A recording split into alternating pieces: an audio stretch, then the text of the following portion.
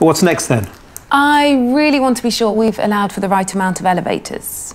How do we know what the right amount is? I can check that right here.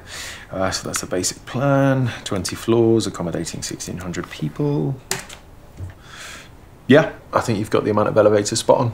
I still would recommend we prepare for increased future traffic. I hate to be the man who always asks the question, but There's three options. We can add escalators or put in one to two more elevators, or if we want to be really smart about this, we could switch to destination control, get people moving even faster. Uh, we could also offer the full people flow intelligence solution. It would really future proof this project.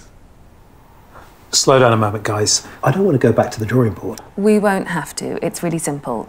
I can make the changes right now with your BIM model. And if you want to change the interior design, we've got the car designer here.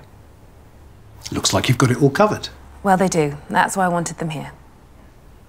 Well, that's how we deliver. So, moving forward,